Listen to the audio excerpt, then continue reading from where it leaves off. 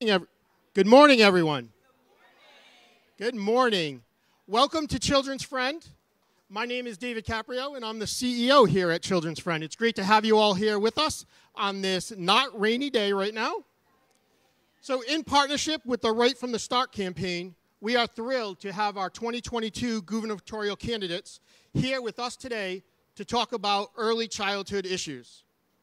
Thank you to all the candidates for taking time out of your very hectic schedules um, to share with us your thoughts on the future of our kids and what you will do for our kids. While not all candidates are here today, all were invited. Governor McKee was scheduled to be, join us, but as you probably heard on the news, he is positive for COVID, and while he quarantines, and we send him our best wishes, he has taped a closing statement um, that we will run at the end with all the other closing statements from the candidates. I want to thank Leanne Barrett from Rhode Island Kids Count and Lisa Hildebrand from Rhode Island Association for the Education of Young Children for their incredible partnership and support of the event today. I also want to thank the coordinators for today, Rachel Flum, Shannon Turner, and Adam Ramsey, along with the entire incredible staff of Children's Friend for putting this all together for us.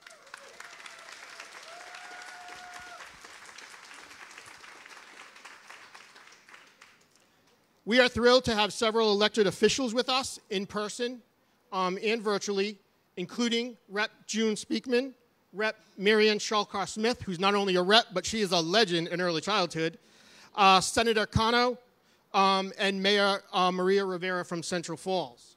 I also want to thank the Board of Children's Friend for all of your support of our advocacy work at Children's Friend and making sure that issues impacting our kids come to the forefront of policy decisions in Rhode Island.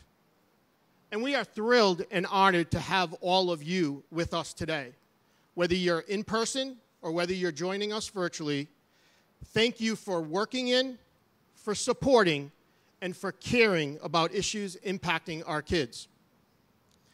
Now, I understand some in the audience may have strong positive or negative feelings towards some candidates, and that is great and I ask that you keep those strong feelings to yourself. During the forum today, here at our Friendship Center, which is a four out of five star, uh, Bright Star rated uh, facility, we are very proud of that, high quality. I ask that the audience, we in the audience, follow the lead of our kids with two pretty basic but pretty important preschool rules. Quiet voices, listening ears. Quiet voices, listening ears. Now, of course, those of you who are streaming it or at home watching it on Facebook, you can hoot, clap, and holler as much as you want. So, to set the stage for why we are here today, I would like to invite the children from our Friendship Center to come up on stage and join the candidates.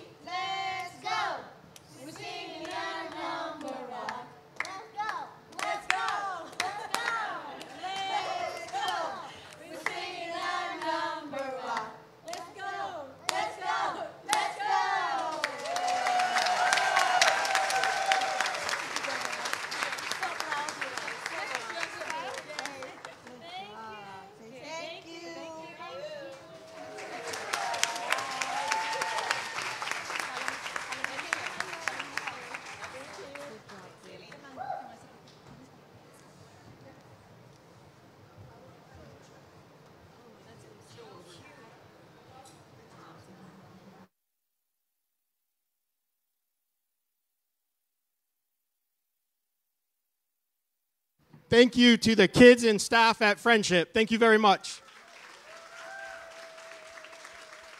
That is why we are here today.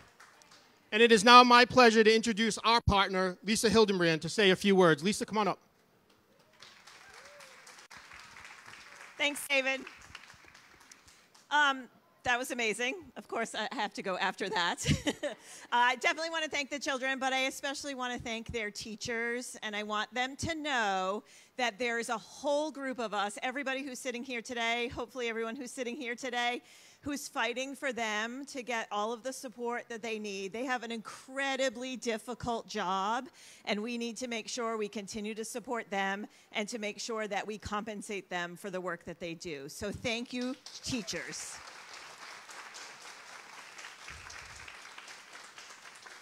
As David said, my name is Lisa Hildebrand. I'm the uh, executive director at Rhode Island Association for the Education of Young Children, and I am a member of the steering committee of the Right from the Start campaign. The Right from the Start campaign is a legislative and budget campaign led by eight organizations to advance equitable state policies for babies, young children, and families across the state.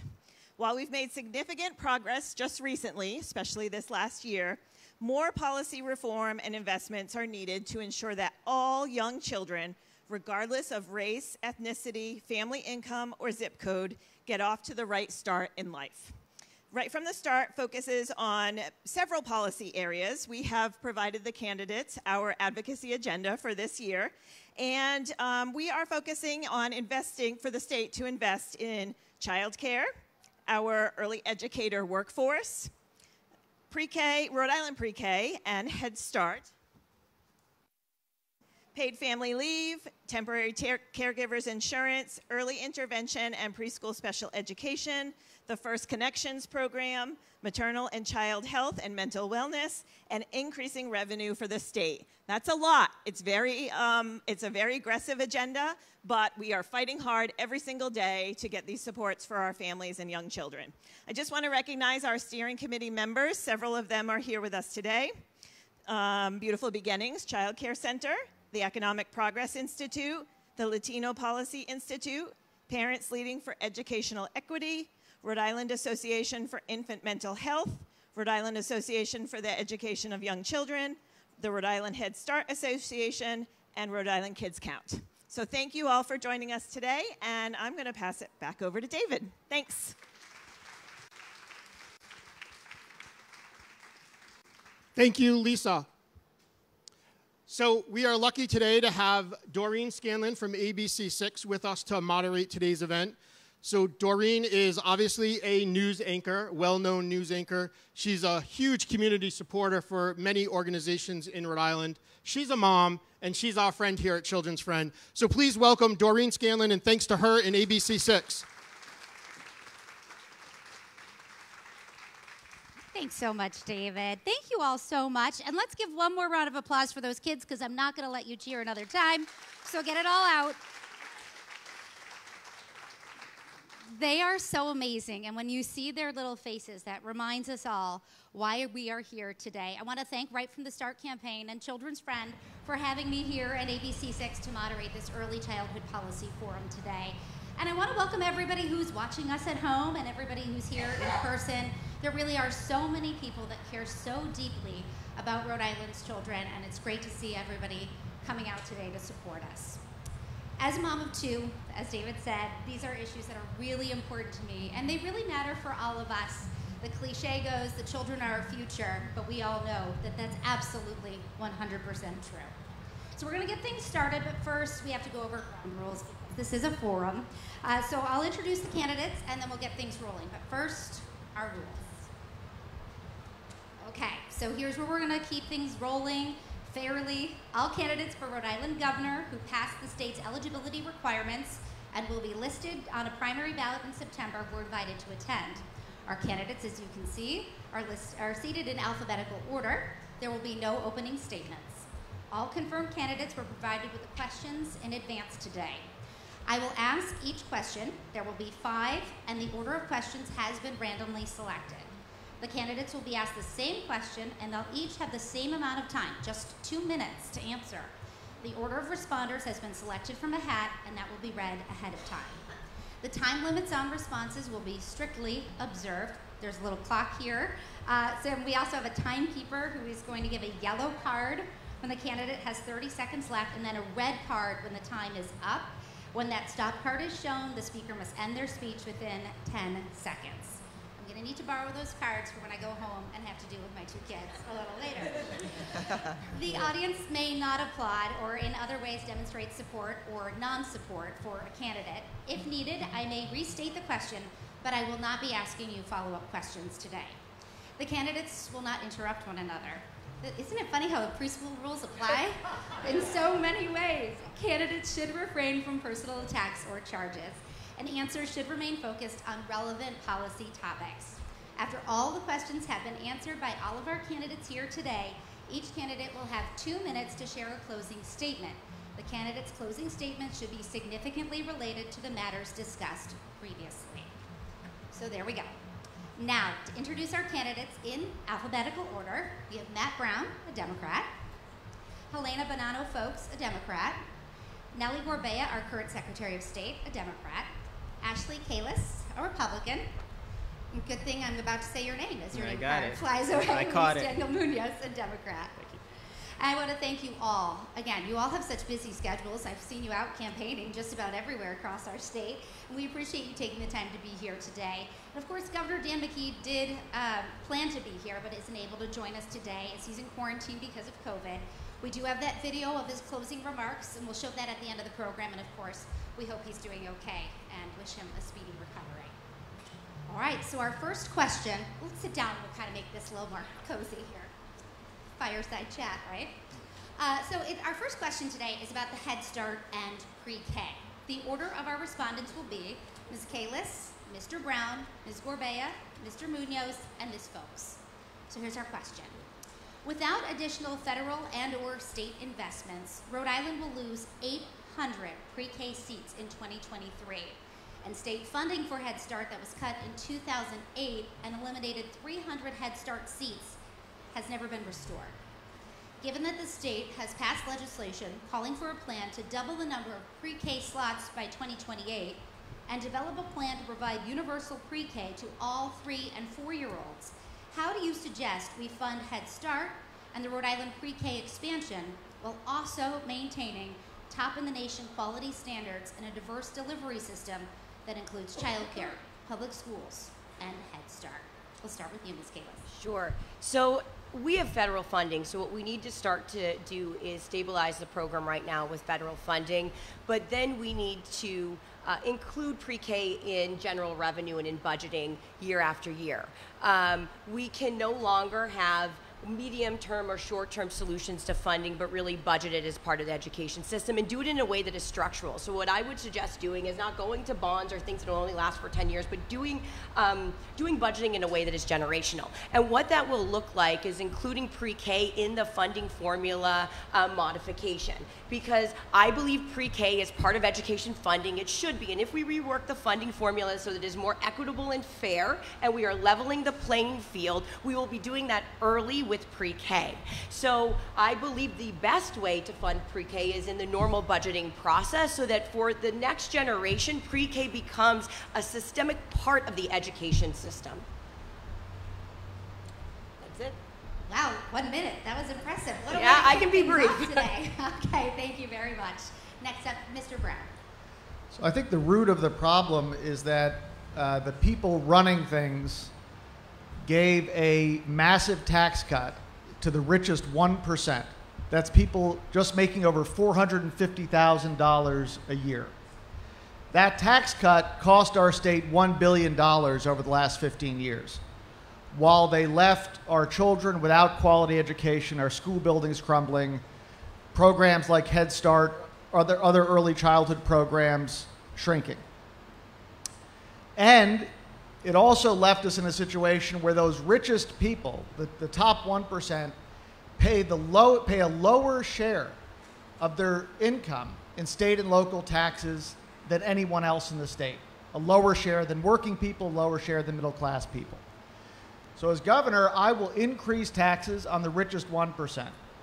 And we will fund our schools, we'll raise starting teacher salaries, we'll make our class sizes smaller, we'll fund universal pre K and Head Start. Uh, I will also, uh, we will also enact a, a referendum for a constitutional amendment to make quality education a right in this state the way it is a right in Massachusetts, which gives parents the right to sue a school if their child isn't getting the education that they deserve. This is something I've been advocating for this constitutional amendment since, uh, since 2019, and it's something we need to do here. Thank you. Secretary Gorbea. Yes, good morning, everyone. It is so fun to be here today with so many people that I've worked with over the last three decades to improve the quality of children and families' lives here in Rhode Island. Um, you know, this is one of those classic cases with Head Start and pre K where we know that it works. We've known that it works for decades now. What's absent is leadership in the governor's office that will implement legislation and appropriate funding in a way that gets it done. And so that is what I aim to do as your governor. Um, we, if we can find money to do things like a soccer stadium or save buildings, we can absolutely take care of our kids and our families. We can make that happen. What's wonderful about Head Start and pre-K programs is that it comes in at a time in kids' lives and parents' lives where it becomes a lifeline. And I say that as someone who had the fortune of having a, a home daycare raise, help me raise my kids, right? That became my extended family, just like I know because I've been to the Head Starts the Children Family operates, and I've seen the parents and the kids. This, these become lifelines. This is not optional. This is not a frivolous investment. This is a absolutely essential investment to make sure that those kids and those parents can be part of our community in a meaningful way. I am looking forward to, as your governor, fully funding Head Start, making sure that we can recruit talented people into that field by paying livable wages, and also making sure that our kids are protected and are able to grow. Thanks. Dr. Munoz.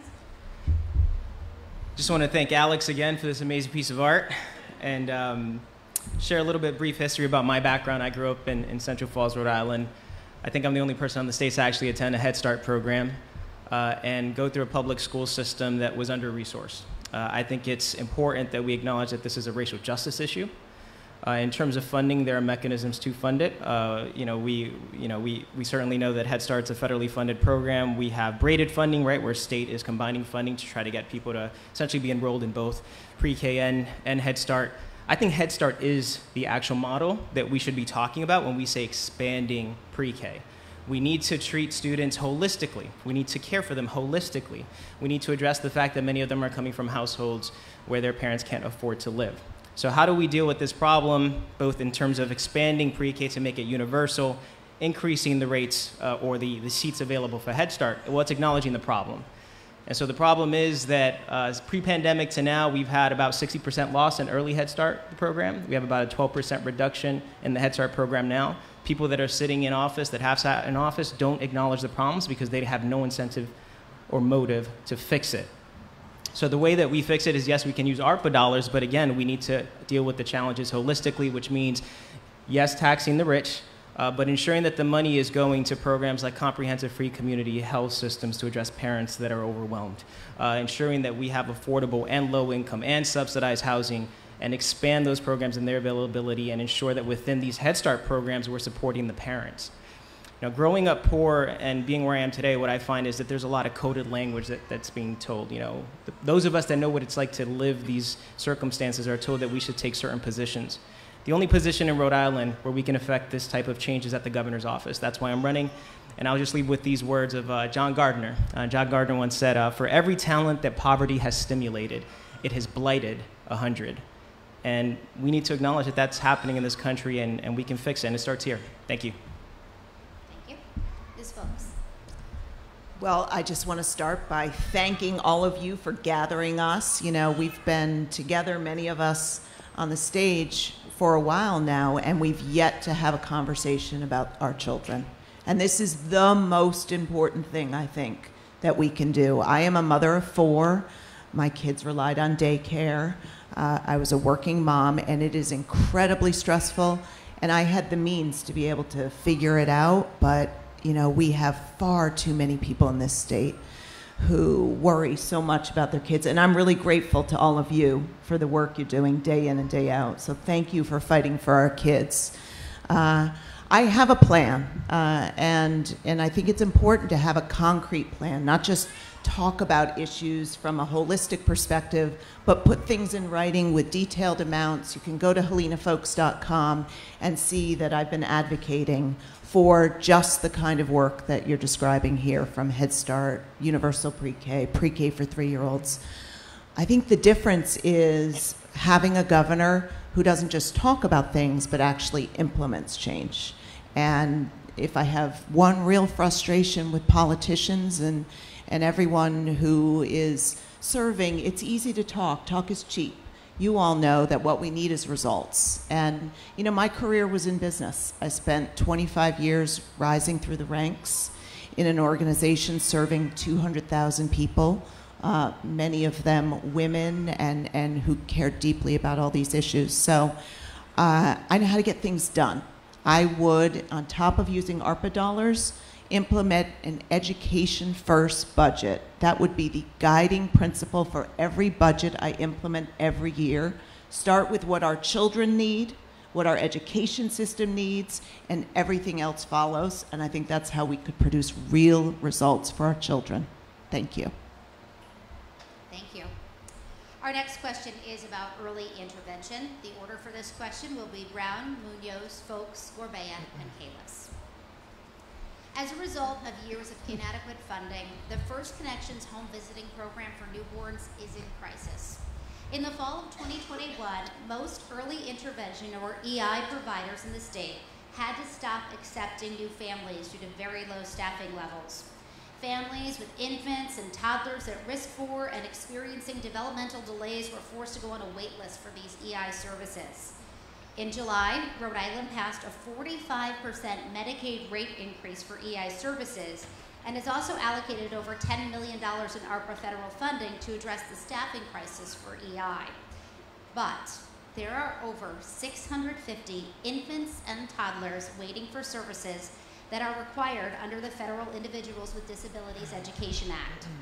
How would you candidates work to ensure that the EI waitlist is addressed in the long run to ensure that everyone who needs services is able to access them? We begin with you, Mr. Brown. It's absolutely essential that um, children who are at risk for or are experiencing developmental delays get access to these services and get access to them right away. Uh, my friend Michael Niemeyer experienced uh, these delays himself. Uh, he and his wife had a baby girl who was born with a rare brain disease. They had insurance, uh, uh, but the insurance blocked coverage, denied coverage for the genetic test that the baby needed. They denied coverage for a chair that would have helped the baby swallow. Uh, when a manufacturer of medicines that would have helped with this condition reached out to the family and offered them, the insurance company intervened and denied coverage for that also. Uh, so Michael and his family relied on early intervention in a, in, a, in, a, in a very fundamental way, as many families do. Uh, so let's talk about the underlying cause of the crisis in this program. The underlying cause of the crisis in the early intervention program is that the people in power drastically cut Medicaid funds in this state. That led to severe staffing shortages and very, very long wait lists for these, for these young children. Um, many of us warned that these crises would be the result of those cuts. These were entirely predictable, and they did it anyway. As governor, it would be a top priority of mine to reverse those Medicaid cuts, restore and expand the Medicaid funds, so early programs like early intervention have the resources that they need and the children can get access to those resources. Thank you. Dr. Munoz. Yeah, thank you. Since Michael was brought up, I just want to say he's uh, running for Senate, uh, and I think it's important for people with lived experience to, to fight for these changes because it matters. Uh, and you know, when we think about early intervention program, and frankly, a lot of which I've learned from uh, from those that are in the fight is uh, it starts at the federal level. You know, our congressional delegation and just Congress in general has not ever really um, gotten us to the initial promise when it comes to the Individuals with Disabilities and Education Act, which is to fund or to essentially offer 40% of the cost, right, to the to, to the states in terms of like um, the states covering 60%, they're covering 40. They're at a, they're, Congress is at about 15% now. So at the federal level, we're failing. Uh, when it comes down to what the state contributes, uh, you know, what we also know is, you know, it just isn't enough. Uh, legislators Giraldo and Alberti have proposed legislation to get us up to about 70% um, with early intervention and about 122% in terms of increasing uh, rates uh, for the First Connections program. Now, why is the First Connections program vital? Uh, because we know uh, that we operate here in Rhode Island under a large hospital for-profit system. So, like, you know, a lot of the care people are receiving, they're, they're navigating through the waters of a really congested and kind of like multi layered um, administration. I think it's important that, to acknowledge that First Connections is the way that we get help to people at home. And that gets us to the, the big important point here, which is we need to move towards a single payer system in Rhode Island. That's about a 10 year process, but it starts with building infrastructure around community healthcare that's comprehensive and free and incorporating these programs into that structure to try to supplement additional funding on the state side um, through other services that we're providing. Uh, and, and I think that's how we can get creative and really expand the state funding. But we got to push on Congress too. Thank you. Ms. Phelps.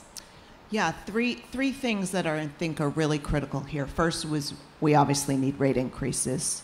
Second, we need a massive outreach in terms of reaching uh, the parents who uh, need to know that these services are available.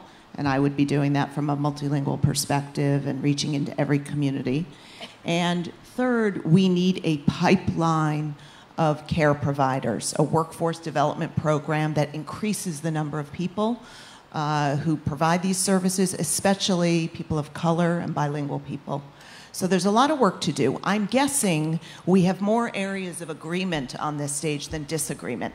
I think the real differentiator that I would like you to think about when you're thinking about your next governor is not the what, but it's the how. How do we find a leader who actually can execute on these ideas? And that's what I know how to do. We have a, a, gap today, as you said in your question, of 650 families in need. As governor, I would be pulling together everyone who works on this problem on a regular basis to hold them accountable, to see where the metrics are. I'm used to doing this in my career. I, I had uh, an experience when I was uh, at CVS running the retail business where every Friday morning I'd have a meeting on one particular problem and invite everyone in the country who was delivering bad metrics around this. And you didn't want to be invited to my meeting because you had to show up and explain what wasn't happening. What were you not doing? And I'd like to implement that in Rhode Island because I know that when we shine a bright light on the issues, we can solve them. We can solve gaps. It's not just about having the ideas and the programs, but it's actually about the leadership skills to hold people accountable and produce results. And that's what I've done my whole life, and I can't think of anything better than doing it for our kids. Secretary Gorbea. Yeah, this is um, like all of these topics. It's about valuing the caregiving economy. Like there is an economy that takes care of people that's instrumental to the functioning of the rest of the economy. And the greatest benefit of it is that it improves the lives of children in, in, in, our, in our Rhode Island state. So it starts with doing, having a governor that knows that that's part of the issue here. Um, I'm going to work with those of you in the field, many of you who I know, uh, and we're going to do this together. We're going to allocate funding and pay reasonable wages and look at Medicaid, and we're going to do all these things. Um, and, and then, you know, just by those actions, word does start sp spreading that this is now a valued part of our state, that we want people to address this. And that's how you attract people to the, to the sector. Now, that's the short term, but there's a long-term game plan here too. And we need to make sure that we have higher ed programming, that we've got other uh, supports to people choosing this field to make sure that they're gonna stay in it for the long run. And may, maybe it's, you know, housing affordability because we have a real gap in housing affordability across the state. And so that's an added incentive. Uh, but, but we need to make all these connections between the silos to tackle something like this wait list. And it would be absolutely my joy to be able to work with every one of you here in fixing this problem because it is absolutely doable. These are not like complicated issues in, in, in, in the abstract. These are absolutely tangible, step by step. And having done it in elections and in business services and in other areas where you work with the legislature, the advocacy, nonprofit community, and with those in government, I know how to do it. We can get it done. Ms. Kalus. Yeah, so we have a tiered system in healthcare and early intervention.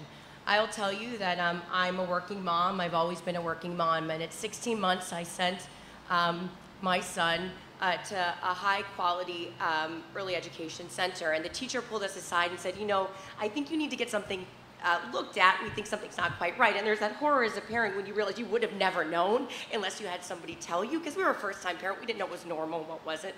And so when we looked into getting a neuropsych exam, the wait was six months. And so what we decided to do, we couldn't afford it at the time, but we did it anyway, and we were able to. Luckily, we paid to get our child taken care of, and there was an issue, and we struggled with it for a number of years. And my child had a 504, and we had a number of barriers with early intervention, including getting OT. And at that point, we decided instead of waiting for early intervention and missing more benchmarks, we would pay for OT ourselves. And that's not an option that everybody has. And it's completely inequitable and unfair. And even if you can pay for it, it's very difficult as a family. So the first thing that we need to do is we need to raise Medicaid rates to make sure that individuals can get um, can get care. We also need to develop the workforce so there are more providers. The long term, those are the long term structural things that we need to do. But in the short term, you cannot leave children behind because the whole purpose of early intervention is getting involved early and giving options for parents to get involved early. Now, I mean, uh, we put it on our credit card. We did what we needed to do, but as someone who comes from a single mom, my mom would have not been able to have done that.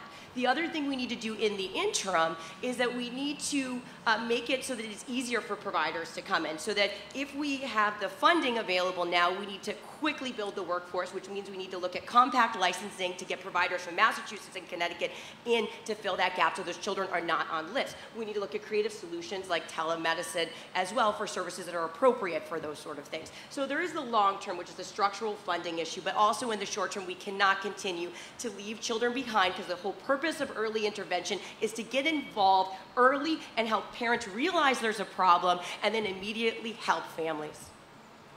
Thank you. Time now for our third question. It's going to be focused on paid leave. Our order will be Gorbea, Foulkes, Munoz, Kalus, and Brown. Paid leave. Rhode Island was a national leader by becoming the third state in the U.S. to establish a paid family leave program. The Temporary Caregivers Insurance Program, known as TCI, which provides job security and wage replacement so that new parents can stay home to take care of a new baby or any worker can take care of a seriously ill family member. There are now 11 states that have paid family leave programs, and Rhode Island's program continues to have the lowest wage replacement and shortage number, shortest number of weeks in the U.S. Would improving the temporary caregiver insurance program be a priority for your administration? And if so, what improvements would you fight for? We start with you, Madam Secretary. So absolutely, this would be uh, an, a priority for my administration because it falls under what I've been talking about, which is that when we pool our government resources, it should be about investing in people. And investing in people when they're having a, a, a real hard time managing an act, you know, a, a, situation where they need temporary care insurance is absolutely critical. Um, this is good for people and it's good for business. Um, I'm very proud of the fact that when this was first being debated as a policy idea at the Women's Fund of Rhode Island, I was a part of that. I was a part of that organization. And it speaks to how I've worked with many of you in getting things done. Uh, I have a, a great debt of gratitude to Senator Gayle Goldin, who got this legislation through the General Assembly, and that we were able to implement. Now, we need to improve it.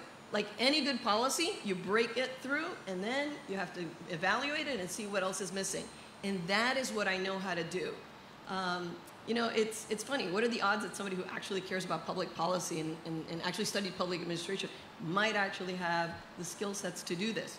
Um, we need to make sure that our economy provides care at a moment where families need, and we need to make sure that we level the playing field, that it's not just a one type of family that has access to this, but all families have access to temporary care insurance at a rate that makes it affordable and lets them focus on what we know we would want to do if we were in that circumstance, right? Do unto others as you would like done to you. And that is to take care of your family and make sure that others have your back while you're going through this tough time. The best employers do that. The ones who don't are not so great. Let's make sure that our Rhode Island businesses are able to continue to function and that our employees are able to function and we take care of our families and kids at, in a time of need. Ms. Foulkes. Yes, absolutely. This is very personal for me. Uh, many of you may have heard me talk about this, but when my I had four children very quickly, and when my youngest was just one year old, I got thyroid cancer and had to take about four months off. And this was early in my career. It was an economic strain for me, but I remind myself every day how lucky I was because I had good health insurance, paid time off, and a very good boss. And this is what far too many people in this state are missing. So, you know, look next door. Both Connecticut and Massachusetts do provide 12 weeks of paid leave. We could absolutely do this when we put our minds to it. Um, but I don't think this is just about having a public policy background. I think this is about knowing how to attract, retain, and grow businesses in the state because one of the things that we're missing is an economic engine which can drive the resources to invest back in our social services. When I look at our neighboring states, what they have built is thriving economies. And those thriving economies allow them to invest in their children. I think this is something that's been missing in Rhode Island. I think childcare and education is a huge part of how we can attract more businesses. As I was recruiting families all through the years at CVS, most of them ended up living in Massachusetts for one simple reason childcare and education was far superior to here in Rhode Island. So these two issues are connected. And it's not just to enough to say you understand the public policy. I think you've got to be a person who's actually driving growth, driving the business climate so that we have the resources to invest in all these services, which are so critical for every family in Rhode Island. So I'd be, I'd be honored to be able to work on this on behalf of every family in this state. Dr. Munoz. I mean, the answer is yes. Uh, I, I, think that, it, it, again, it's important to acknowledge that in the same time period where we're talking about supporting individuals, we know that there are postpartum conditions uh, that may uh, contribute to individuals not necessarily being optimal to go back to work, uh, whether it's postpartum depression, whether there's a number of issues that might arise. So this isn't just a matter of like, you know, spending time with your child and, and supporting their development. Um, but this is also very important about the individual themselves and having the necessary time period to heal uh, and to come back, and the family as a whole, because I do believe that should be, you know, in terms of like it being um, for, for all parents. I'm going to use my extra time and I'm just going to talk about the system as a whole. everybody talks about increasing Medicaid reimbursement rates, but let's talk about what needs to happen. You need the courage to get some people angry. We have, you know, managed care organizations that are pretty much profiting. Uh, we have an entire healthcare system that's too expensive, and no one's talking about where we can cut costs and where we can pull the money together to actually expand on some of the programs that are being discussed here. So this isn't just about who's the best manager. It isn't just about lived experience. Is do you? It is about do you have the courage to completely and radically transform the healthcare system here in Rhode Island and all of the services that contribute to the health of our children and parents. Uh, so uh, when I think about you know paid family leave, like I'm also thinking about legislation that's being pushed, and it's not just about policy; it's about the fight that's being pushed by Representative Speakman and Representative Anastasia Williams, you know, for ensuring that we're you know expanding coverage for postpartum care for a year and, and making sure that that's never really challenged and taken off the books. So this is the fight. It's going to take a governor to work with those legislators that have had the courage to start the fight and then to take it to the corporations that continue to take money away from our kids and our people and to put it in their pockets. Thank you. Ms. Kalus. Hey, it sounds like we're differentiating ourselves. So not only do I have a background in policy and in business, I'll actually give you an answer as to how to improve policies around paid leave. So yes, I support it. What we can do um, with self-employed individu- individuals, we need to have a program where they can pay in and also take advantage of paid leave. I will tell you that I uh, was self-employed and I never took maternity leave. I couldn't. I worked through labor. I worked the next day. I still had to keep my business going, and there was no option for paid leave for me. I would have loved that time with my children. So we need to make it possible for self-employed individuals to take leave. The other thing is we need to expand who you can take leave for. For grandparents, for other members of your family, because the reality is that family structures are different. I am the only person in the world that my 88 year old grandmother has. And that structure, whether it's a grandmother, whether it is a sibling, we need to make sure that caretakers can take care of their family members and expand what that actually means. And then we also need to look into expanding leave to reasonable time, which could be 12 weeks, and, and also making it actually possible in terms of the amount of money that we give for leave. Because you can give money, but if you can't pay your bills or you can't make it, then you really can't take leave. Um, we need to be able to do that as well. Mr. Brown. Yes, we need to expand uh, paid family leave here. When I was uh, 21, my mother was diagnosed with cancer, and I was in college at the time. I quit college and moved home to help take care of her. And she got treatment, and it worked for a number of years, and then and then it didn't, and then we lost her.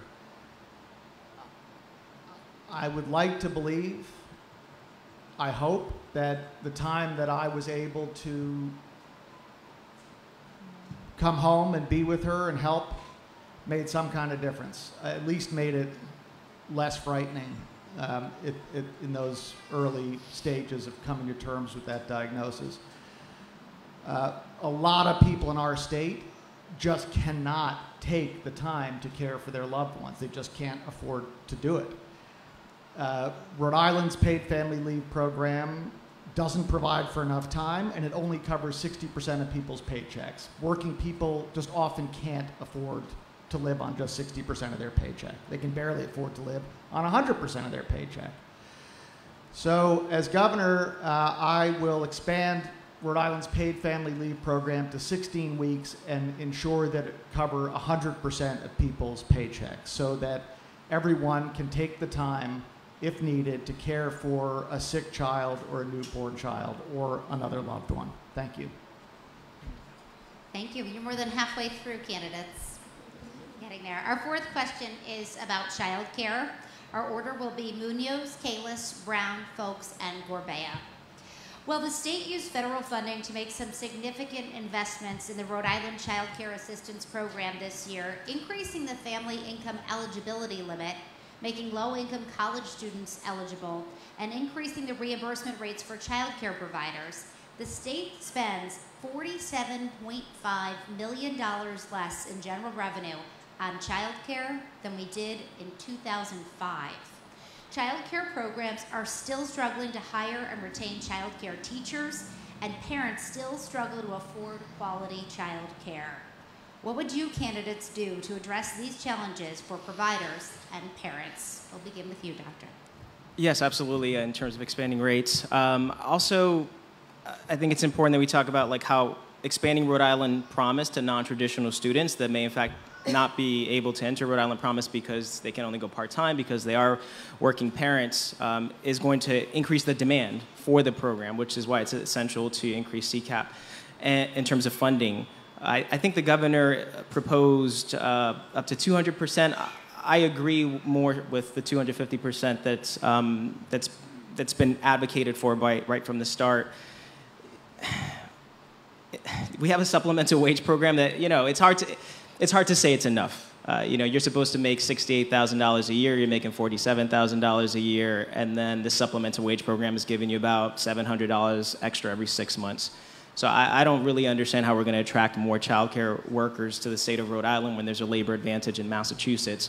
When, when we say supplemental wage, we're, we're really talking you know, anywhere between 1600 to 1800 per person. It's, it's very performative. It's very Rhode Island-like uh, to, to put it out there, all due respect. Uh, so how do, we, how do we address the problem um, in terms of increasing you know, pay? I, I think we just got to go straight at it and say, it, is it important or not to have childcare workers that are helping our children during early development? A little personal example for me was we had uh, Juliet in daycare. And when we started her in a daycare, uh, there were uh, people that were very experienced that had been teachers and, and are, were in the daycare, and we were really excited. And over time, we started to see every one of those individuals no longer be there.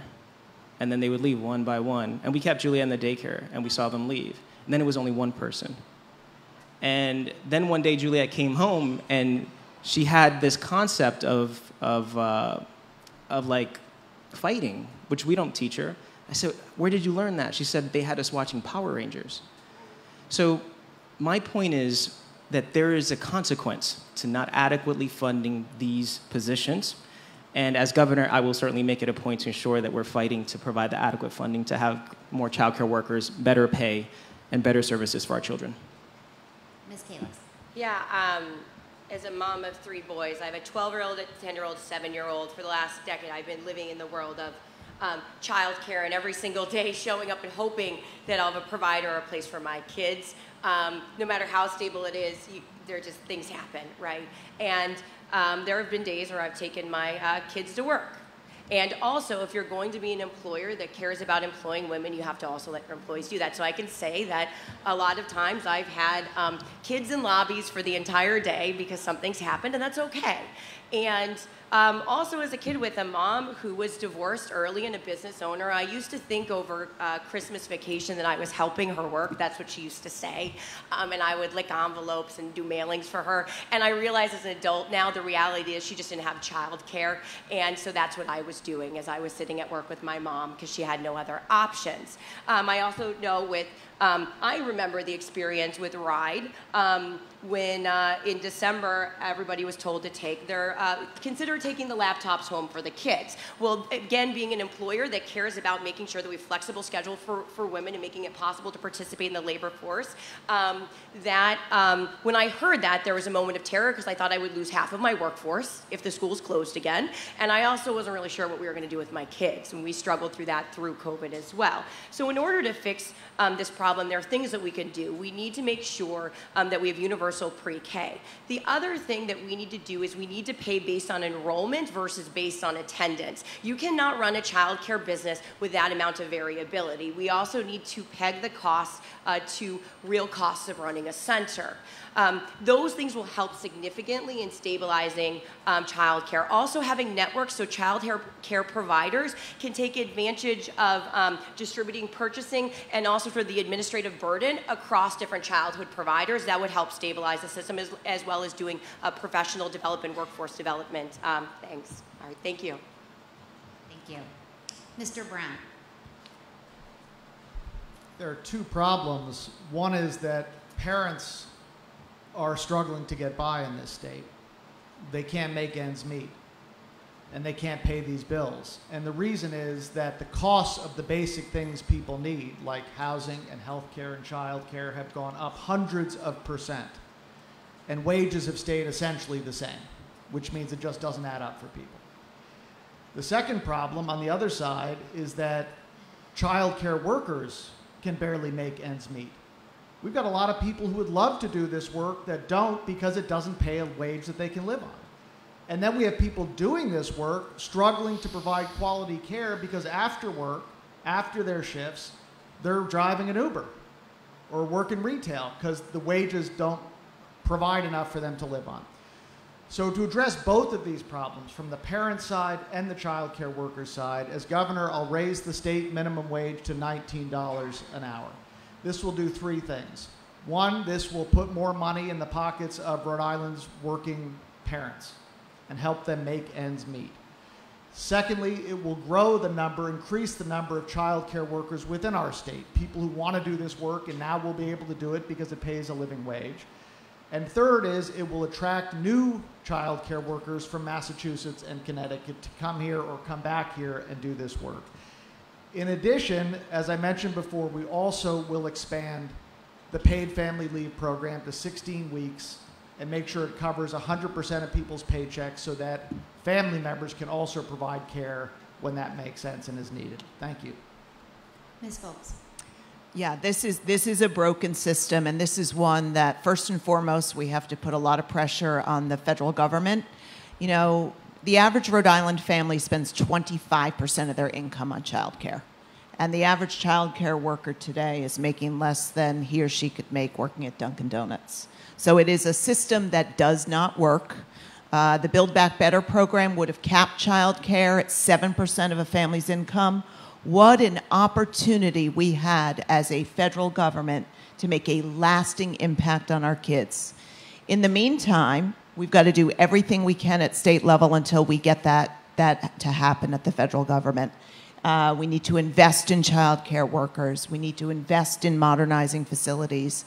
Uh, we need to develop a fund so that if, I, if, if someone wanted to start a child care program, they have the resources to break through the barriers. But there's one thing really missing here, too, and this is leadership from this governor.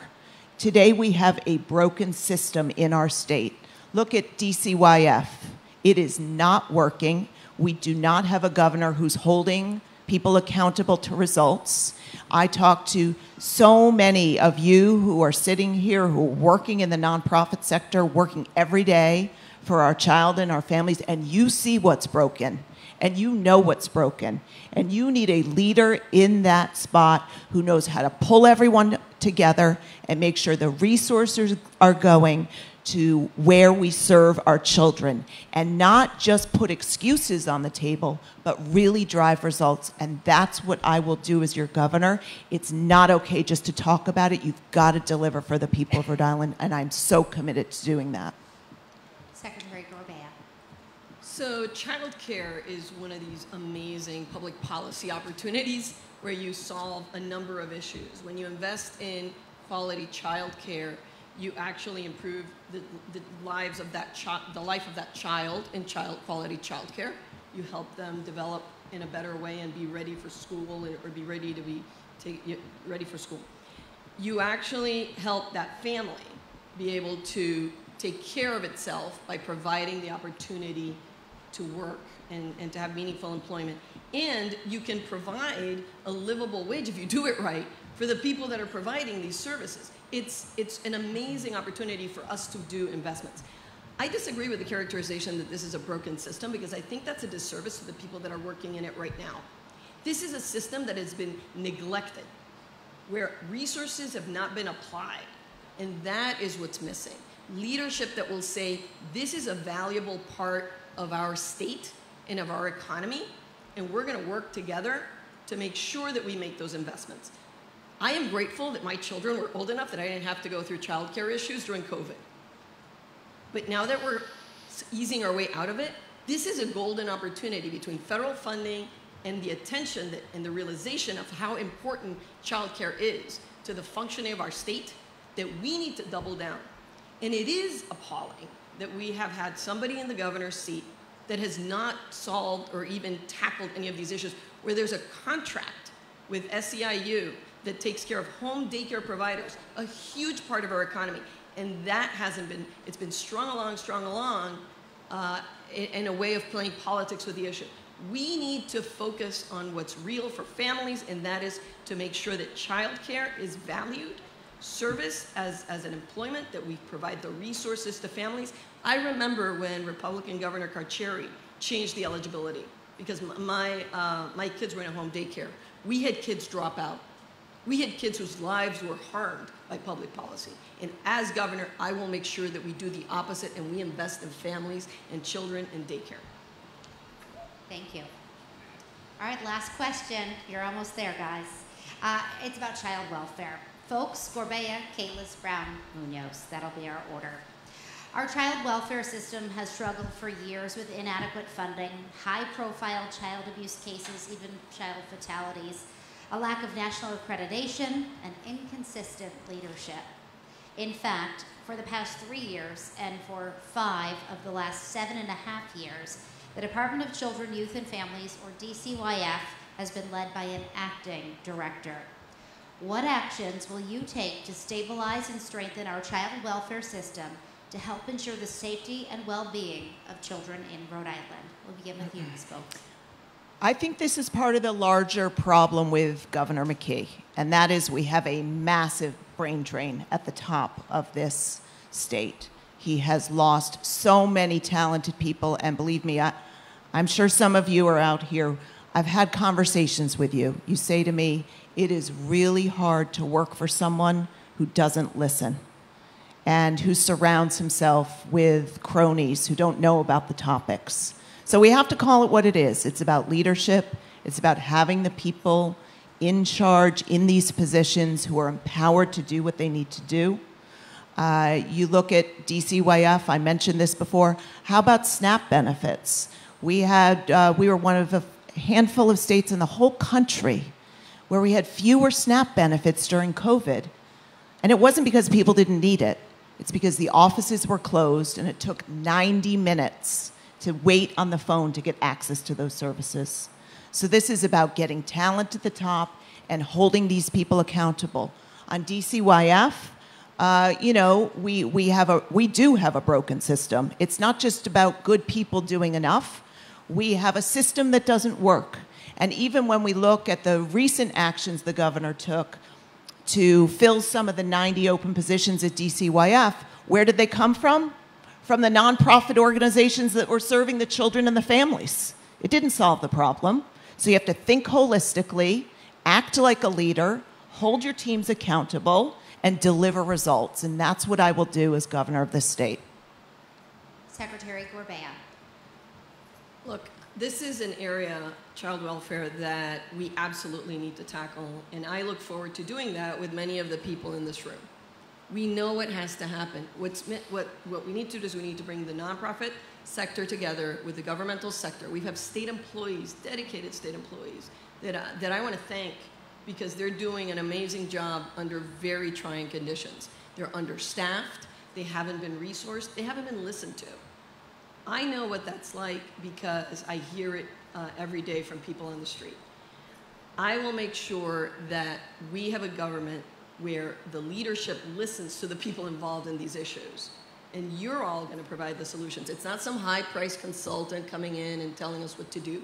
It's all of us around this table. And we are going to make sure that those families in need are dealt with in a, in a not just in a caring way, but in a culturally competent way. That we're bringing in the variety and diversity of communities into the child welfare system so that we can, we can provide that kind of nurturing service. Um, we have a real crisis in our child welfare system. It's a lack of leadership that doesn't allow it to, to, to change and to transform at a very critical moment when we do have resources at the table. Look, processing SNAP benefits, not that different than processing other forms in government. Nobody's gone in there and said, okay, what are, what are we doing here? How can we make this easier on the user, which are families in need? How can we make it easier on the staff that has to process that? And then make that happen. I did it out of business services and other areas in my office in elections. I know how to change government to make it work for people. And that's what we need to do in the child welfare system and across state government in Rhode Island today. Ms. Kalus. Yeah, um, leadership matters, and what we see is a lack of leadership a lack of permanent leadership. Um, and in my administration, you will uh, have a leader of, in myself and in the person that I asked to help me transform um, this organization. Um, and somebody that'll stick with it because there is transformation that needs to be done, and you need to know that the person that's going to be with there with you is going to be there through the transformation. We need to pursue accreditation. Accreditation is I've been through three cycles of accreditation with my high volume ORs. It is a difficult process, but it forces uh, accountability, transparency, and highlights issues and solutions in a way um, that is better for the organization in the long run. So we need to do this, but you need a leader to take you through that, that process. Uh, the other thing is that we haven't done basic things to even show that, that um, there, this is a priority. So if the vehicles are the, some of the oldest in the state in the fleet, that means that we're just not investing um, in providing the services that we should provide. And what we see in this administration is a bumbling sort of leadership. Um, we even see it with uh, what happened uh, with the uh, child advocate, where all of a sudden something happens, a job is posted, and um, it takes a number of days to say that was an accident. That is somebody who's out of touch and insensitive and is not in the details. And for something that is so critical I would expect, or what you will get from me, is a hands on governor who is involved when something is in crisis and demands that there is accountability and transparency, but also with proper leadership and support, because it is the only way to transform government. Mr. Brown. Well, unlike Governor McKee, I'll prioritize naming permanent directors to DHS and DCYF. I won't leave the agency's understaffed chronically and won't outsource the work to a for-profit corporation. Uh, DHS back in February said they needed 90 additional positions. Governor McKee said no. He left 100 vacancies unfilled. He's now trying to outsource the work of union experienced employees to Deloitte, the same for-profit corporation that caused the UHIP disaster. Uh, and now we've got people waiting in lines for hours to get the essential services that they need, and working people just often can't do that. So, as governor, I will fully staff the agencies. I will name permanent directors to, to the DC, DCYF and DHS. Uh, I will not outsource the work to a for profit corporation and will open the field offices that have been closed. I will also increase funding and access to mental health services, counseling services, addiction services for parents and children so that we can shift some of the burden of this work uh, off of DCYF so it can play the role it is intended to play, which is, which is a solution of last resort for families. And lastly, I will work to make sure that parents have the resources that they need to care for their families raising the minimum wage to $19 an hour, enacting Medicare for all so everyone gets quality, free health care in this state, expanding paid uh, family leave, and building tens of thousands of affordable homes and capping annual rent increases. All of this will put more money in the pockets of working people in this state. Thank you. Dr. Munoz. Yeah, the system is broken. And I know that many people operate within a broken system, and we're all trying to do good within a broken system. This race is about having a governor that's willing to help mend the areas that we can mend and to completely build the new areas that we need.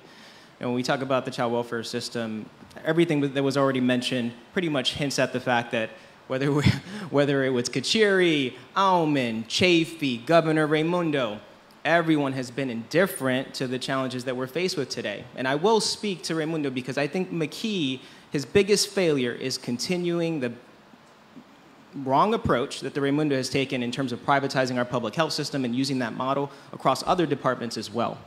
A good example, and I'm going to come back to child welfare services in a second, is DOH. You look at the line items, the budget, $65 million for 514 full time employees. You look at the next line, $126 million for third party service providers. That is privatization of healthcare. We are spending more of our public dollars on private companies. So we can't say that the system's not broken. We can't say that cronyism isn't driving Rhode Island politics. It is. And my, you know, when I, when I think of DCYF and all of the, the, the things that have happened, I mean, to even sit here and to, to, to have people that have served in office that have not made enough noise about this say that when they're governor they will make more, it's concerning to me. We are sending youth out of state to get taken care of when they should be here. We have people sitting at, at Butler Hospital not seeing the, sun, the light of day, like if they're in prison. This is happening to kids, and it hasn't changed. In 2005, I worked at Arcadia Children's Home when I was an undergrad. I thought it was going to be social work before medicine. The way they treated 5 to 12 year olds in that place was like if they were prisoners. They set them on a path to failure, and unfortunately, they stigmatized those children for the rest of their lives. It is about the money, it is about being creative, innovative, and transforming departments, but it's also about acknowledging that every administration over the last 20 years has failed our children, and we need to change the way we're doing things. Thank you. Thank you very much. And thank you all for your thoughtful answers to all of our questions here today. We're going to do a round of closing marks. You're each going to have two minutes. And we're going to start with the video of Governor McKee's remarks, and then we will go in alphabetical order.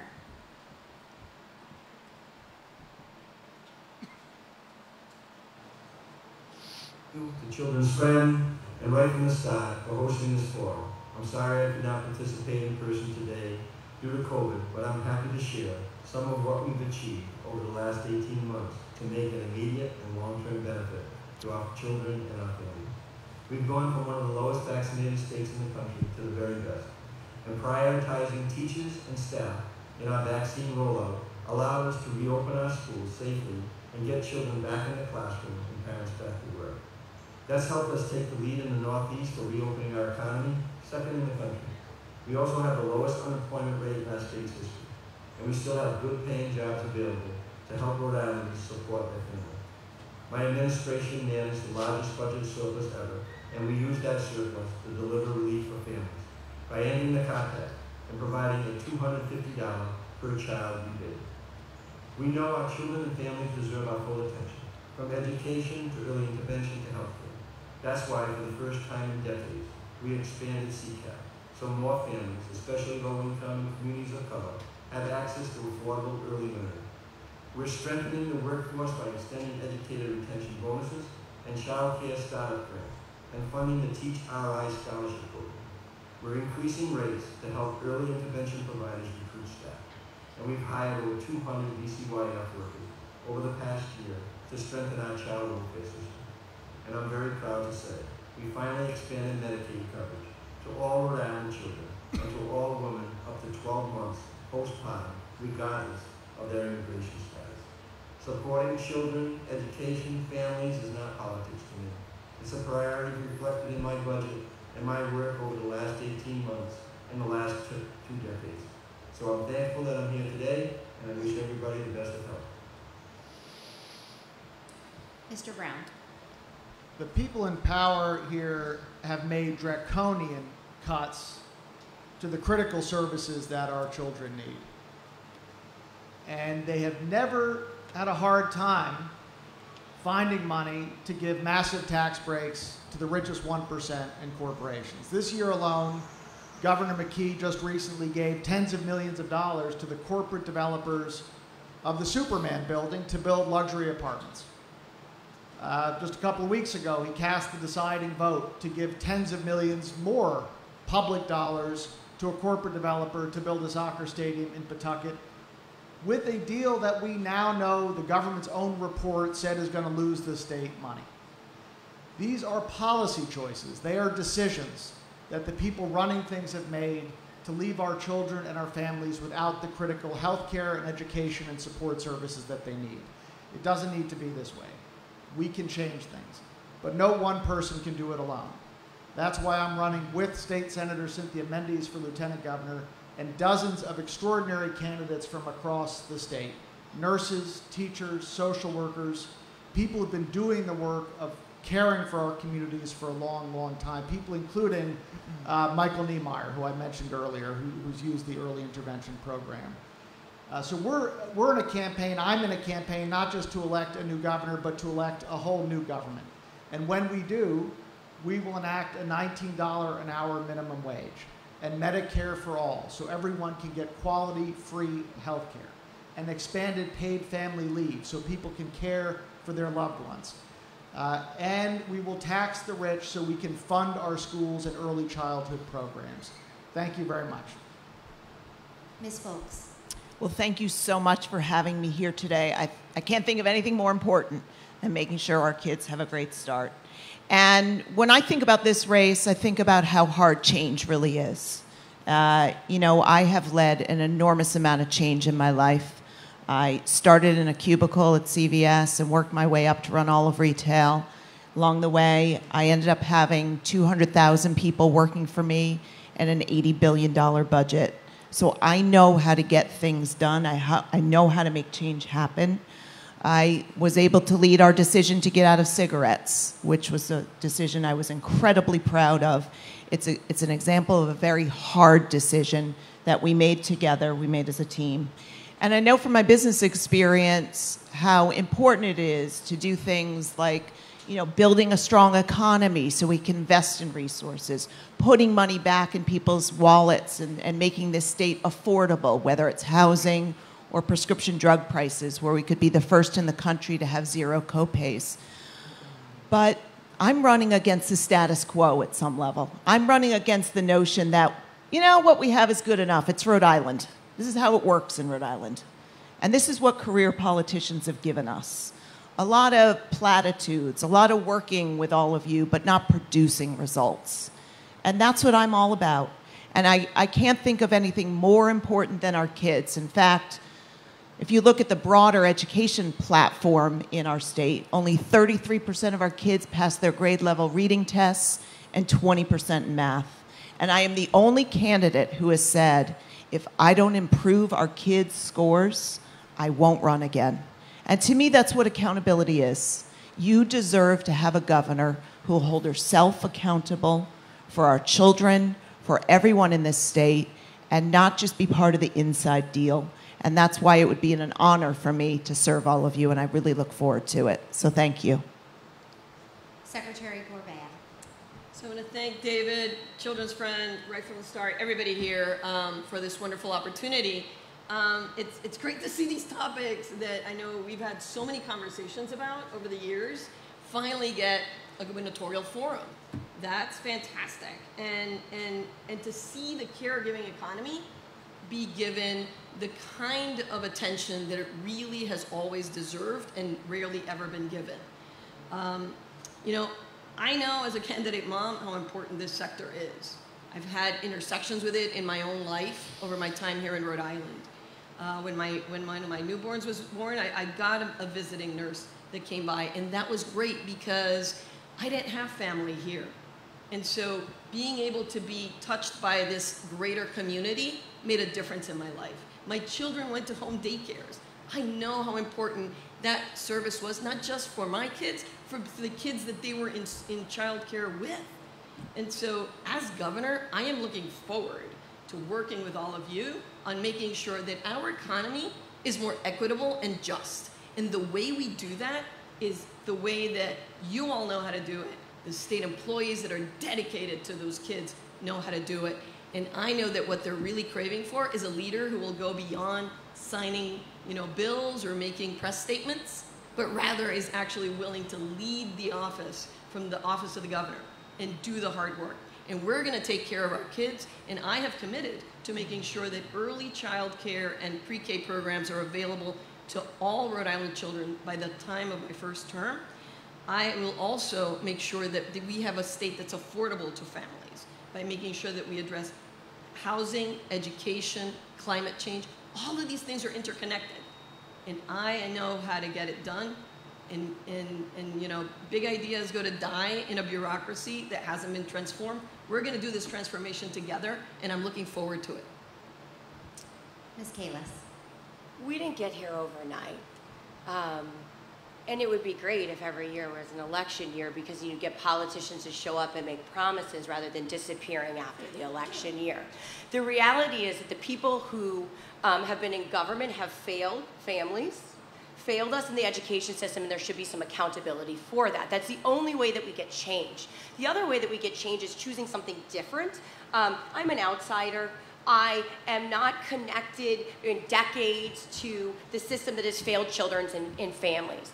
other than the fact that it's failed my family um, and it's failed Rhode Islanders.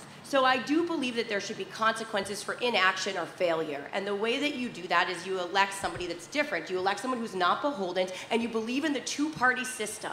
The two-party system forces change, it forces ideas, and that is what you will get if you elect a Republican as governor. That's what you will get with me. The other thing is that I am in the midst of dealing with childcare and education as a mom and as a small business owner. I am living it. I, I might have had my children in the back row today if something happened in that weird gap between summer camp and, and school starting and somebody's sick. And you'd say, oh, that's so cute. And I would say, no, you, you, I mean, it may be cute, but you don't understand. That's because I don't have childcare, right? So I am living it. It is very fresh. Some of these issues, they are very personal to me. And I think that that matters in leadership because you're able to assess whether a solution to a problem will really work and if it's good enough. And I think it really uh, does uh, make a difference. I'd also like to highlight something else. I'm trying to be respectful of time. Um, but I want to say that um, empathizing with how much childcare matters, and we all love childcare, and I hear a lot of that. That's called talking points in politics. They're trying to train me to do it, and I'm not uh, very trainable apparently. Those are talking points. What now what you should expect and listen for is actual solutions. And so what I gave today, and I and we really look at policy and what you look for in policy solutions. So specific policy solutions to address your issue. So I suggest that you look back at this forum and look at who actually just uh, stated solutions to policy issues rather than saying how much education matters and how much childcare matters, but look at the people who actually gave you concrete solutions. And I think that evaluate those ideas instead of feeling good about talking points. Dr. Munoz. Yeah.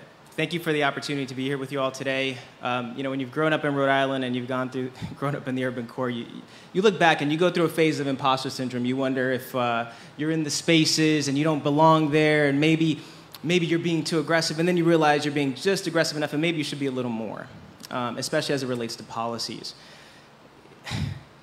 We live in a country that printed $1.6 trillion and gave it to corporations who gave it to the top 1%. This is the country we live in. We live in a state where we've had hundreds of millions of dollars that were not deployed for rent relief because we work with a nonprofit or pseudo, uh, you know, Rhode Island Housing, and they sourced out to a company in Utah that had protocols in place that didn't address technology literacy, that didn't have an understanding of equity. We have an administration that could not even define equity in a press conference. Leadership matters, but the lens through which we look at these problems matters more than anything else because that's the lens through which we develop solutions. You know, I'm running for governor because I do not believe that there's any insider that's ever been governor of Rhode Island that doesn't wake up in the morning and think self preservation. There is no corporate executive that's ever been governor of Rhode Island that didn't wake up in the morning and think, how do I help my corporate donors? You know, we need to focus on people, and the way we do that is we have to be aggressive with supplemental wage programs. If we have $1.1 billion, we can't say that 1600 is enough. We need to talk in the range of what is it like to have a $100 million or more supplemental wage program to get people towards a livable wage? What is it like to create comprehensive community health hubs across our five counties that can house the needed services that are not being adequately addressed right now, from addiction to mental health services, as well as some of the child services, child welfare services? How do we transform our education funding formula so that it's not just something in a constitution that people are going to ignore anyway, and ensure that it's actually money, increasing the money that the state is contributing to cities and towns by no less than 25%. But we'll still, we'll, we'll still need an equity assessment to ensure that we have the right number. I am running for governor because, in the words of Bobby Kennedy, when there is plenty, poverty is evil, and no one else wants to call that out. Thank you. Thank you. Thank you all, really, for your time this morning. There are a few important election dates. We can't hammer this home enough. I know so many people so active in politics here know these dates. But for those of you at home, today is the last day for a mail ballot application for the primary, so you can go online to vote.sos.ri.gov today if you want to apply for one. The primary is Tuesday, September 13th, and if you haven't registered yet but you want to vote in the general, you must register online by October 9th. The mail ballot application deadline is October 18th. And finally, the general election is Tuesday, November 8th. The uh, place to register online is vote.sos.ri.gov. We thank you all so much for your time and attention. This really was an amazing experience to highlight these issues that matter so much for our future and for our children here in Rhode Island. So thank you, candidates, and thank you, Children's Friend and Right from the Start campaign. Thank you, everybody.